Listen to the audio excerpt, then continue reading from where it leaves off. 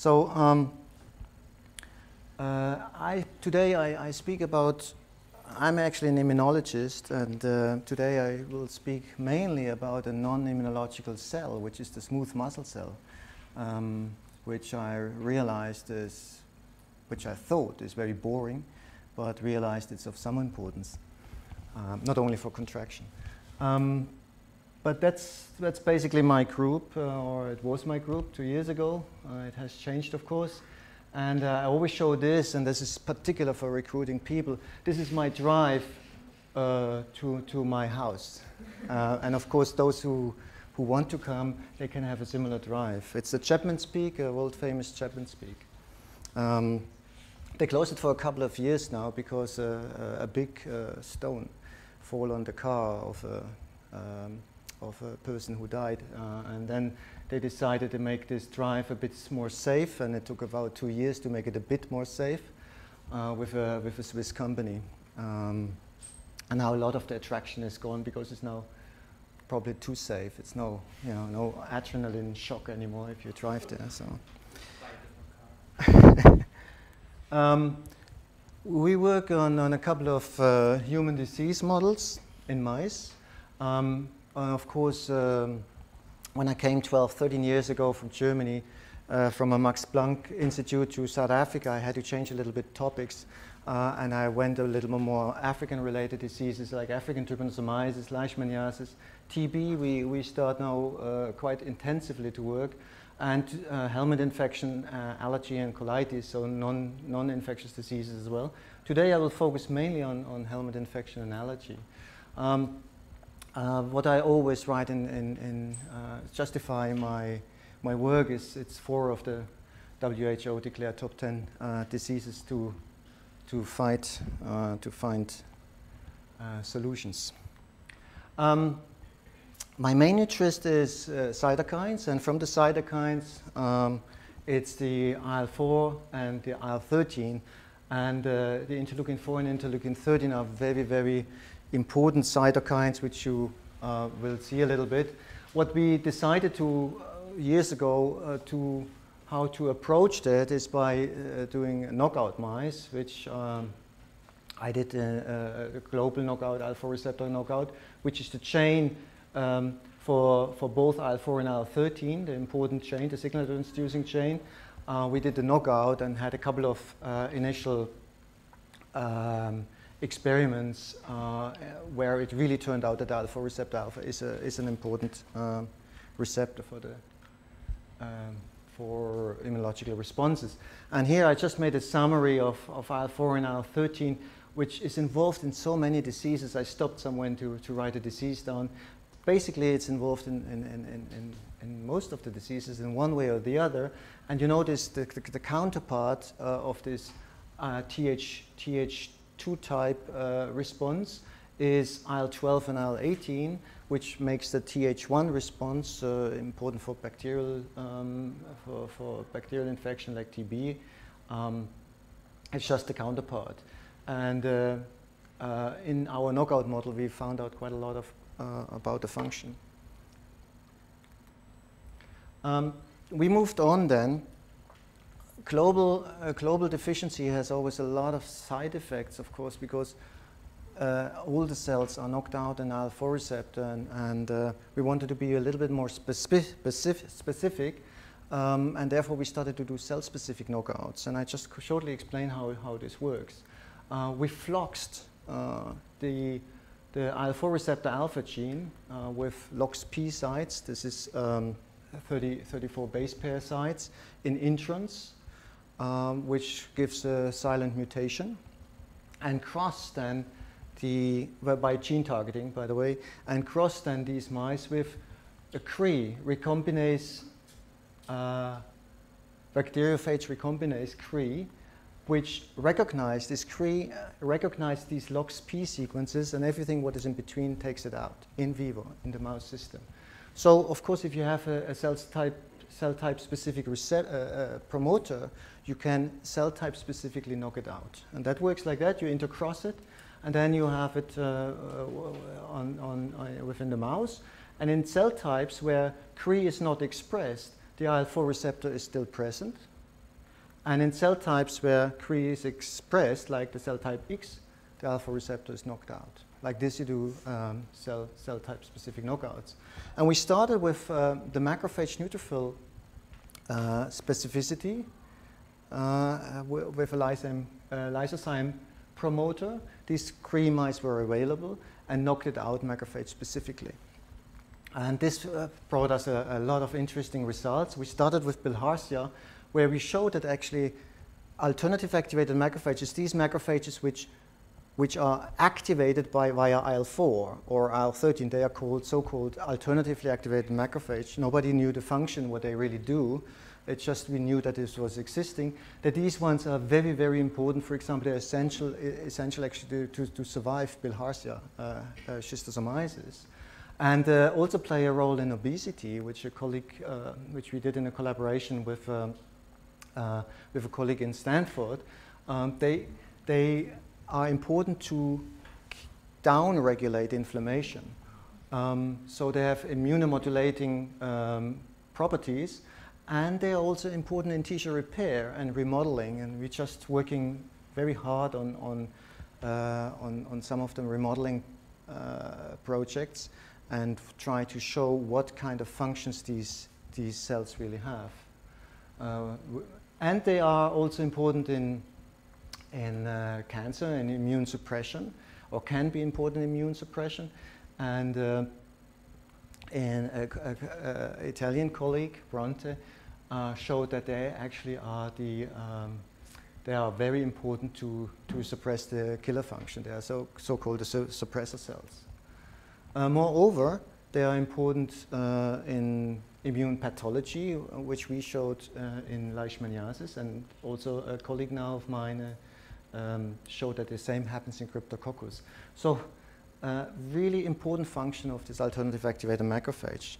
I just wanted to show that because I don't really speak about these um, macrophages today. Um, but the conclu conclusion from, from this research is that um, alternative activated macrophage down modulate or suppress the schisto, nutritional cancer, others induced inflammation. And the list becomes more and more and more. So uh, macro, these macrophages have down modulatory uh, effects. And uh, the current status is that we try to identify which genes they express are responsible for this down modulatory effect. And there's actually already a, quite a list of arginase, FIS1, uh, reactive oxide intermediates, and uh, lipoxygenase and others are candidates for suppressing candidates. They either suppress Th1, Th2 cytokines, proliferation, or increase apoptosis of, of immunologically important cells. So oh, we have now, sorry, we have now some functions and start to understand what their role really is. Um, subsequently, we produced a couple of, of uh, other cell type specific knockouts, which is listed here along epithelial cells, smooth muscle cells, CD4 T cell receptor, alpha beta uh, and gamma delta T cell receptor mouse, or alpha beta alone, B cells and dendritic cells. Uh, you see the, the last uh, is, is still unpublished. I must say we, we are we are working heavily, we have these mice now, and we're working heavily to find phenotypes. And uh, I, I, should say, in all these mice, we found very interesting phenotypes. Uh, with the dendritic cell, where we knocked out alpha receptor uh, specifically, we, we look at the instruction theory in, in DC for IL-4 uh, mediated instruction for TH, TH1 uh, responses. Um, but today, as I said, I want to uh, put your attention, focus your attention on the smooth muscle cell, which I believe is a quite boring, immunologically boring cell. And it turned out it has quite a lot of effects immunologically, which I want to show you. Um, so we, we, knocked it, we knocked it out cell type specifically and, and showed this, for example, with FACS and um, where we uh, looked, sorted actin from our water, smooth muscle cells, uh, alpha-actin positives and showed that um, they have impaired alpha receptor alpha expression. In green is the, is the wild type, in red is the complete global knockout, and in blue is the smooth muscle cell type specific knockout. We also, of course, showed this also on, on functional level, on DNA level, as well as on RNA level. I don't want to bore you with these results. Um, and now I want to go to, to one of our models, our infectious disease models, and one of them is uh, brasiliensis, which is uh, an experimental nematode model for uh, human and animal hook, hookworm worm infection. Um, with 0.6 billion people infected worldwide and striking morbidity um, like anemia, malnutrition, developmental problems. Of course, all these people in developing country. Um, I should say helminth infection is really, really quite tough. A third, a third of, of the world population is infected with at least one helminth constantly. And uh, morbidity and mortality is quite high uh, with a, actually a, disease which is easy treatable with drugs. So um, why I particularly show this photo is uh, Claire Hoving. She's a student of mine and she likes she does photography quite professionally, and she won a couple of uh, awards with this with this photo, where we where she showed um, which we isolate in vitro. What how we can get how we and the mouse can get infected with uh, with um, this kind of worm. Um, Uh, usually you, you, you eat a worm, we do it subcutaneous, uh, we infect uh, subcutaneously, and then the worm crawls, or the, the larvae, it's a larvae, L3 larvae, it crawls to the lung, gets cuffed up, and swallowed down and goes in the intestine. Um, so once it's cuffed up, uh, goes into the lung, it, it actually goes, crawls through the lung to get into the bronchus to, to be cuffed up and then lives in the intestine, oops, lives in the intestine uh, where it lays, lays its eggs, uh, which goes out in the feces, with the feces. The responses are actually quite easy. Uh, the helminth induces a strong, from a naive uh, helper cell, a strong T helper 2 cell, and T helper 2 produce uh, IL-5, for example, Th2 cytokines, IL-5, which activates eosinophils, and they put their chemical bombs to the to the gut-dwelling worm. Um, they, uh, IL-4 activates, uh, is a switch factor for B cells to IgE responses, uh, and IgE bind to the receptors on mast cell, and also they have their, their chemical bombs, which they throw into the helmet, uh, as well as IL, via IL-13, uh, they activate goblet mucus production, goblet cell mucus production, also there to try to put their stuff uh, onto it in order to try to eliminate uh, the worm in the intestine. Um, so what we did, we, we just infected mice, global knockout, wild type, and the smooth muscle cell specific alpha receptor knockout with this um, gut-dwelling worm. And the reason why we did that is we thought, okay, perhaps, you know, smooth muscle cell contraction is important for, for or helps also mechanically to get rid of the worm. Um, so that you, you, you see the color scheme, the wild type mice, uh, the control mice are always in black, the global knockout is always in red, and the smooth muscle cell specific alpha receptor knockout is always in yellow. When you look at a wild type mouse, uh, after infection, you, you, for example, measure the egg in, in the feces, you can see that there is uh, some egg production and then it goes down. Why? And wild type mouse is actually uh, immune against the worm and gets get rid of the worm with all this function which I explained to you. Um, a global knockout, alpha receptor knockout, is not able to completely get rid of the, of the worm and uh, feces production is still present uh, after two weeks eventually it becomes chronic and eventually can solve it, but, but it takes a time. So global IL-4 receptor knockout mice are, are highly susceptible to, to, to, this worm infection. So we asked the question, what happens if we just knock out IL-4 receptor on smooth muscle cell? This, does it have an effect? And to be honest, I didn't expect a big effect or effect at all. But in yellow, you can see it. We have clearly a, a delayed something in between, a global knockout and a wild type mouse. It had an effect, and it did delayed expulsion.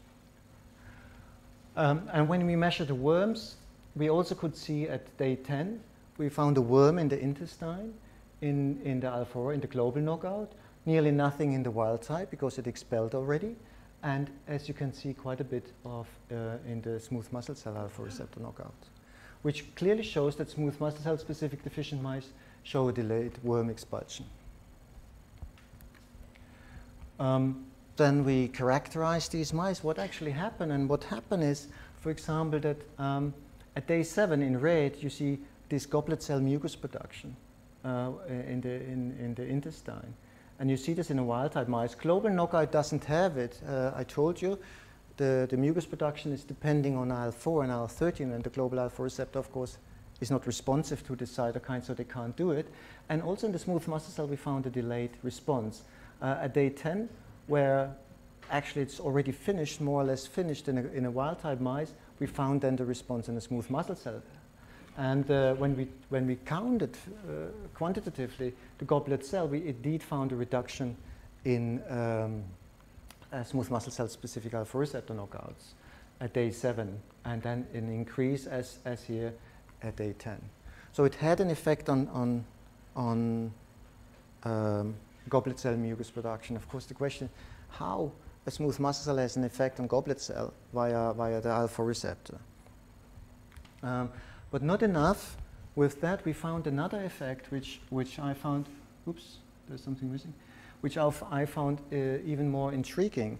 When we measured, and this is lost, when we measured the cytokines, um, and we measured IL, IL-4 um, IL-4 and IL-13 here, it's not written, and here interferon. When we measure the cytokines, then we saw in the cell type specific knockout that IL-4 is down in comparison to wild type as well as IL-13. So it had an effect on Th2 cytokines to knock out the, the absence of, of IL-4 receptor on smooth muscle cell. And that was really surprising. And, uh, and then, of course, we really got interested in, into this mouse and uh, asked the question, um, what, what, what, what's the mechanism. So um, these are sorted CD4 cells which were re-stimulated with uh, anti-CD3 and then the cytokine measured in the, in the supernatant.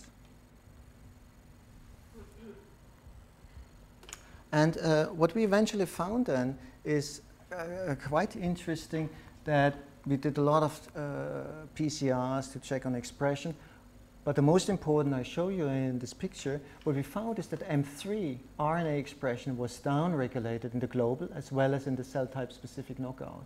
And M3 is a neurotransmitter, it's an acetylcholine receptor neuro for, for, neurotransmitting. Uh, and of course that is important for, for, for uh, the response in the smooth, uh, in the intestine. Uh, just to recall, acetylcholine is, is expressed in, uh, in neuronal cells um, and acts via the uh, M3 receptor as well as in other cells. Uh, so somehow we got an indication that neuro neuronal cells are also involved uh, and, and, and, uh, um, and dependent on alpha receptor alpha smooth muscle cells. And so we came up with a, with a hypothesis that probably um, the smooth alpha receptor alpha smooth muscle cell has, a, has an effect, we don't know the factors yet, on T helper 2 cytokines and probably on, on contraction. And that could be regulated perhaps via neuronal, um, uh, neuronal innervation. So eventually we tested the contractile response of the intestine. Um, uh, for uh, in in in, uh, in, in this in this machine where where we infected mice took out after seven or ten days the intestine, a short piece of it, and measured contraction after acetylcholine stimulation. And indeed, when we did this, we found in a, in a non-infected wild-type mouse had, uh, had acetylcholine uh, response in, in contraction. That's the tension which we measured. And uh, when they were infected, they had a hyper-responsive, they were hyper-responsive towards it. So uh, this, this has been shown also by others that actually IL-4 and IL-13 um, in increased contractility, contractility in smooth muscle cell via the alpha receptor. when we did this, if we did this in an IL-4 receptor knockout, and that was the proof that it's really going via IL-4 and IL-13, we couldn't see any effect after infection with, with the worm. Why? Because the, the, uh, the, the, receptor was not there, therefore IL-4 and IL-13 could not uh, play a hypercontractility force. And when we looked at the, at the smooth muscle cell, we found slight increase to, to control naive controls, but this was not significant um, because it has a high vari variety. So we did not find the, uh, the, same contractile force as, as we saw in the wild-type mouse. So we, we could change with this, with this kind of analysis, we could change a little bit or add to the model of helminth infection and uh, put in the, um, the smooth muscle cell as a, as a very important uh, or as an important cell contributing to the expulsion of the worm um, by um, IL-4 and IL-13 having contractile forces. So through physical contraction probably, as well as um, an influence on, on T helper 2 responses. And this could be neurological innovation. We haven't proven that, that this is the case. We don't know exactly the factors which are involved to have this uh, suppressive uh, effect. Uh, this is now what, we, what we're trying to find in a, in a new approach, uh, in a uh, microarray and, and other uh, genomic approaches, transcriptomic approaches.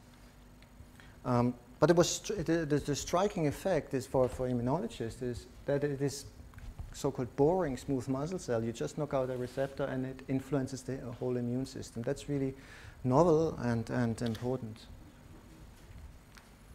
Um, we also showed in, in, some of the other knockouts that actually the Th2 is more important for, the, for the memory response against the nipple than to the actual primary response to the nipple. This we showed in T-cell specific, uh, CD4 T-cell specific knockout, alpha receptor knockout mice. Anyway, um, was this just a peculiar um, effect and not too important. So we asked the question, is the influence of alpha receptor alpha responsive smooth muscle cell on Th2 type immune responses and contraction specific for the intestine? Is it an intestinal specificity or is it more general? In order to address that, we looked um, at lung. I told you this larvae goes, uh, goes through the lung to get into the intestine and causes actually a lot of damage in the lung. Um, so we, we asked the question, does at this stage in the lung the smooth muscle cell also play a role? Because the arteries uh, and, uh, and, uh, and uh, uh, the bronchs, of course, have also their smooth muscle cell around. And interestingly, we found similar effects in the, in the lung where we had uh, a reduction or a delay of mucus production, again, mucus production from goblet cells uh, around the airways. Um, and you see here is, is nearly nothing, and only at day 10 we get more. So the same picture has happened in the intestine, it was in the lung as well. And we also histologically quantify that and, and clearly showed a significant reduction of it. And uh, even so, the larval count which we found in these lungs was exactly the same in all three mice. So the cause was not that they had a different, different burden, uh, larval burden in the lung. It had nothing to do with that. It was quite an important uh, control. And when we looked at airway hyperresponsiveness, it's the same as you do in allergy. The resistance to breathe, this, this resistance we, we, can measure, we found that, uh, of course, wild-type mice had a, had a uh, a strong airway hyperresponsiveness because of the damage which happened and the inflammation would happen. Um, and the alpha receptor not, but the smooth muscle cell had also quite a bit of, of, of problems with that. Um, and again, when we looked at, at, at M3 as an indicator if, if uh, acetylcholine receptor is involved, we found differential expression. At day 7 it was less than in the wild-type mice, and at day 10 it was much more than wild-type mice. So similar as, as in the intestine. And then eventually we looked at the CD3 uh, cells in the lung, and what we found there is that the recruitment of CD3 cells in smooth muscle cell specific alpha receptor knockouts was reduced, which we can see quanti qualitatively here uh, in, in, in, in uh, fluorescence staining of CD3 cells, and quantitatively when we counted them, uh, we saw a clear-cut reduction at day 7, but not at day 10. So the, the, all the delay happening also in the lung. And when you count the CD4 T cells, it was uh, uh, also much lower in the, uh, in the smooth muscle cell specific knockout. So the question we answered is the influence of alpha receptor smooth muscle cell on Th2 type immune response and contraction specific for the intestine is no. Uh, it's also active during lung infiltration. So this became then much more important for us, and we started to look at another model. And then we came to the schistosomiasis, which is also is a trematode, it's also a worm. Um, it's uh, bilharzia, it's also called, is one of the most communicable diseases within, with 200 million infected and 80% are in Africa. Uh, it's a chronic disease, but uh, as I already said, it could be treated easily controlled by single yearly dose of praziquantel, which flushes out the, the worms, which unfortunately people don't get. It costs 18 cents, the tablet. Um, so you can see that some of these problems of infectious disease is not a problem of us scientists not to know what to do, is I think that really the people get the drug uh, where they live, and obviously it is not the case. Um, you can get uh, you can get uh, you can get infected with schisto in, in the Victoria Lake here in uh, Malawi, for example, if you do holidays there. Um, and the worm, the male and the female are paired with each other for their lifelong, so they have constant sex, uh, and produce the, uh, the, the, female produces eggs, which goes in, in particular in the, in, into the lung and into tissue, and stuck gets stuck there and builds granuloma. Uh, and then with the granuloma, granuloma it's come to fibrosis, and the disease, the human disease, and, and problems like liver, gut, kidney, and bladder, and chronic infected people look like that. Um, it's uh, really distributed uh, quite well in, in Africa. As you can see, it's not a South African disease, only the north of, this is South Africa here, only the north of South Africa has this problem, the rest of the country has no problem with it. Um, so what we did as a study, we have this in, a model of, of uh, schistosoma infection in mice. And uh, what mice do is they actually start, uh, uh, they die after a while. So when we tested this mouse model, wild type mice survived and, and started to die between 9 and 10 weeks. knockout, we published that before in an immunity paper uh, with the alternative activated macrophage, which are essential to, for survival the global knockout dies very early, between seven and eight weeks. And what you can see is that the, there was a delay in mortality. Uh, uh, there was an early mortality in the smooth muscle cell alpha receptor specific knockout mouse uh, here, as you, as you can see. And that was very, um, uh, this, this happened also if we did if we uh, made the dose response infected with different Zercarias, that's the, that's the, uh, the eggs, the larvae. And uh, we always saw increased mortality in the smooth muscle cell alpha receptor knockout mouse. Even if you used 70 Zercari, none of the wild type died in, in, in eight weeks in this, in this time, whereas 10% died, 37%, and so on. We always found an increased um, mortality rate in the smooth muscle cell. As you can see, it's not as strong as the global knockout, but certainly had, a striking, had, a, had an effect. So uh, we checked what, what happened. We looked at pathology, uh, has it an influence on the fibrosis or on the granuloma formation, and we could not see anything and could not, uh, between the smooth muscle cell and the alpha receptor control mice, minus logs control mice. And also the granuloma area, when we quantitatively analyzed that, there was not much of a difference. So it seems it was not a problem of liver granulomas. Um, and also when we, when we checked the uh, mesenteric lymph node, uh, mediastinal lymph nodes or mesenteric uh, lymph nodes, we did not see what we saw in the Helminth infection. We did not see a difference in, in the cytokine production. So there it was not that uh, strong. But uh, also the, the, pathology in the intestine, uh, this is a naive intestine, this is nice lobes. and that is a, a wild type. You see there are, there are uh, eggs duct and they build then these horrible granulomas around them. Here you can see an egg, here you can see an egg, and in the alpha receptor knockout. And between this wild type and, and or the control mouse and the smooth muscle cell, we didn't see much of a difference. So also their pathology seems to be similar. However, what we found is when we uh, counted the egg in the feces, we found less egg in the smooth muscle cell. And less egg in the feces for, uh, means that more eggs get stuck in, stuck in, the, in, the, in the organs. Uh, so um, as you see in the global knockout, they, a lot of egg gets stuck in the organs. So they had a problem to expel, to expel the, the eggs. And of course, this is complete. Think about in the helmet. What, what I showed you before is a, is a, was a helmet. Hookworm is a helmet that lives in the intestine and gets, gets the egg through uh, in the feces. Whereas these ones, the schisto, they live in, in inside the body and the eggs go via the blood circulation uh, to the intestine and crawl out into the lumen. So it's just the other way around. And so this was a, a, an interesting result which we found. And uh, then we thought, okay, let's measure contractility because also there it is perhaps this physical contraction helps to get rid of the, of the eggs out of the, out of the lumen. And uh, when we measured acetylcholine dependent contraction. We found normal ones in, in wild type, actually hyper, hyper responsive uh, contraction in comparison to naive one. It's very strong, much stronger than in, in, uh, in the Nippers In the knockout, there was no uh, increased contraction uh, because IL-4 and IL-13 could not do their function.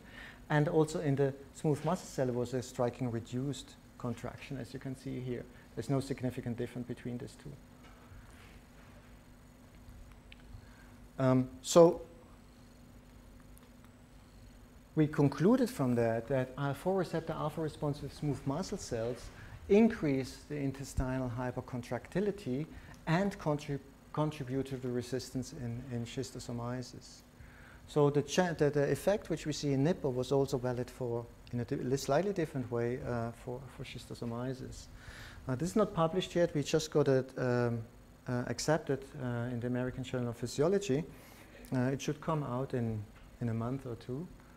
Um, what we also could conclude is that IL-4 and IL-4, IL-13 induced smooth muscle cells are active participants in host protective responses against helminth infection. We showed this in two models, in, in the nipple model, in lung and in intestine, as well as in the schisto model. I would not be surprised if we use other helminth models uh, with this mouse that we also find some functions. Um, that is the reason I present that because it has to uh, it has a, a, more general effect, uh, unexpected general effect of the smooth muscle cells. But now I'd like to switch gears a bit. Um, we also work on, on allergic asthma. And we work on allergic asthma because the immunological responses in allergic asthma and in helminth infection is more or less the same. Um, Allergic asthma is airway, airway inflammation of allergens. Uh, and uh, this is an obstruction of a human actually who deceased uh, from, from a from a, allergic uh, attack. It's also lots of mucus, hypo, uh, mucus secretion and so on. And the allergic asthma model is actually exactly the same as a, as a helminth model. Just look, it's antigen presented cell. The, TH, TH, the naive TH develops to a TH2, and then IL-4 acts on eosinophils, IL-13 on goblet cells, B cell switch to IgE on mast cell, and this all starts to destruct or, or uh, obstruct the airways, and that is the, the reason why we can't breathe anymore. So it's a very similar model. So it's not surprising that I work on helmet as well as on allergy because it's immunologically very similar.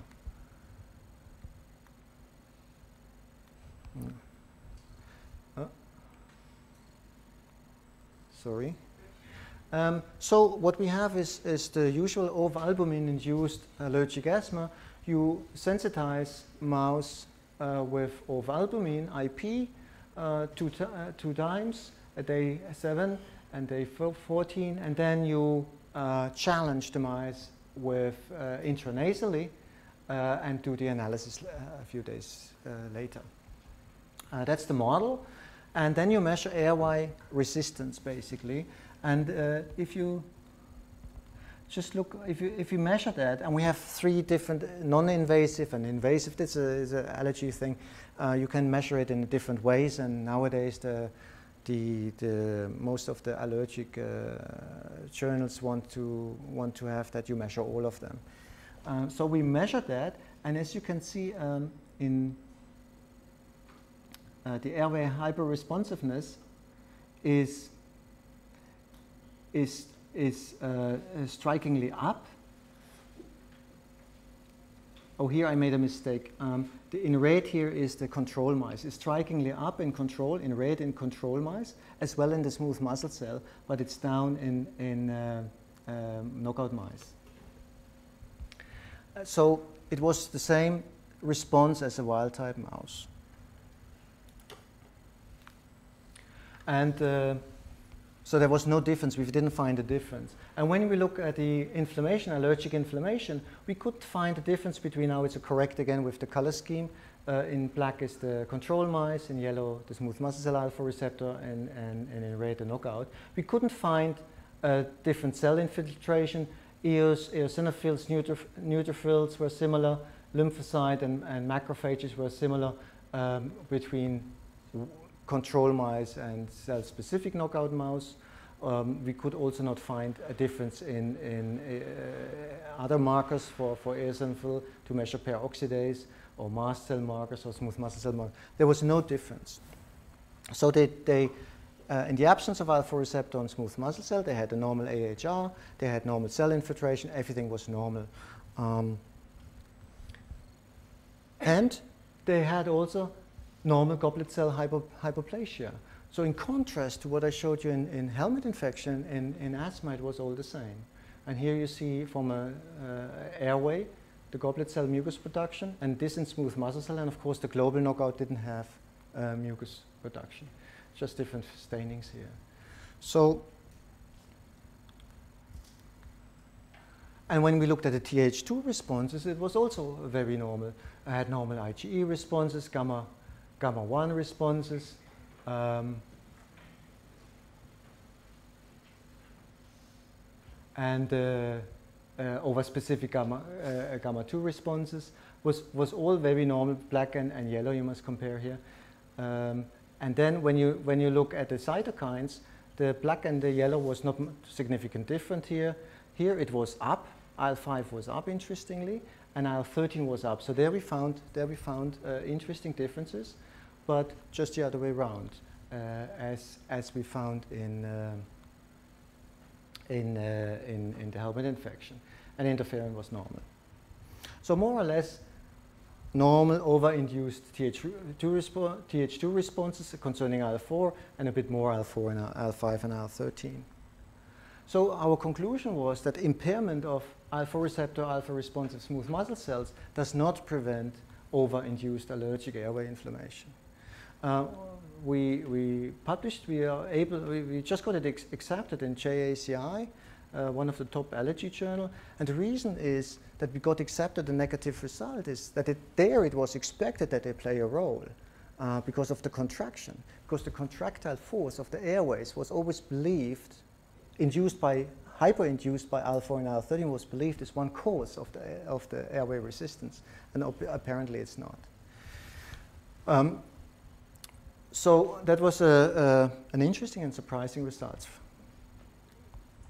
Um, now I show you a, a, collaborative project on the same, on the, also on smooth muscle cell with a slightly with a different approach. SMP8 is also a smooth muscle cell specific uh, prom promoter.